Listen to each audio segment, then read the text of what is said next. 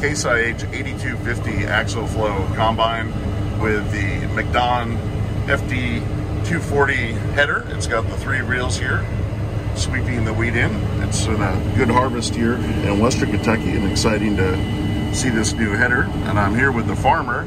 Uh, what have you liked about going to the, the new 2 Series? Well, so far, you know, we've only used it in wheat, but it's fed really well. The I like the flex of the reel better. Um, seems to be a little more responsive, feeds well. Um, a lot of the functions on the machine are a little more um, user friendly, and um, so a lot easier to hook up, and some of the connections and so forth and all that are just, to me, much better much more solid you put them on. You know, they're brand new to us, so we're still trying to get used to them, but overall, we've been really pleased with them. So. Do they flex pretty well when you're in rolling ground? Or? Yes, they do. They follow, like, you know, we. I'm curious to see how well they're going to flex whenever we get beans. That's what I'm really excited about. But, but so far in wheat, you know, the way they're designed and so forth, they've done a good job when we rolling through some um, low spots or ditches or anything like that. You know, they they've hung the ground pretty well and uh, and made it much much more user friendly from the cab standpoint. Well, they, they look pretty good out on the ground when I'm filming, and uh, having the three reels, I guess, gives a little more visibility up here on the, the front uh, as it's coming in the feeder house. Uh, definitely eliminates that shatter that you were getting on the old ones right in the middle.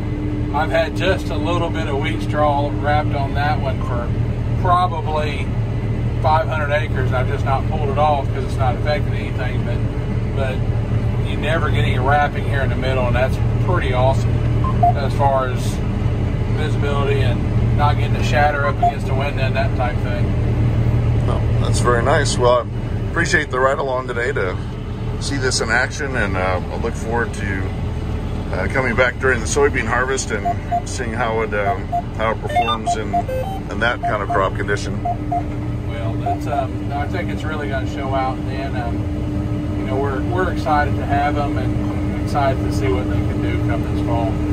But you know, but going through low spots like this that we're getting ready to go through, and when we're in soybeans here, that's going to handle that, I think, much better than what the one old ones would. And even now, if you watch it, you know, it just kind of floats right with it and handles it. Just has a little bit more flex to it. So Definitely doing a good job.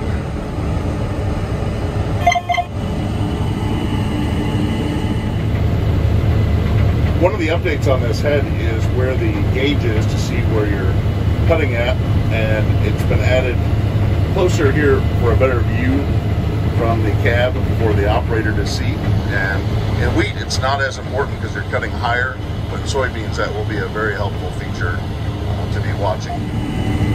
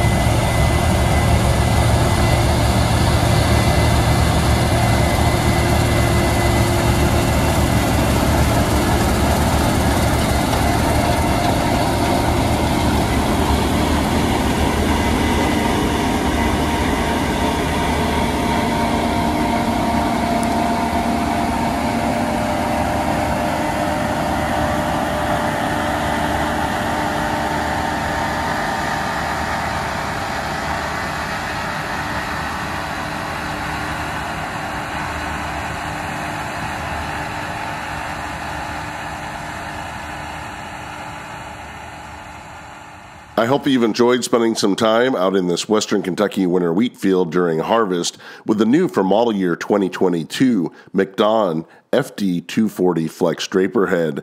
I'd like to hear in the comment section below this video what type of header you use to harvest wheat and other small grains on your farm.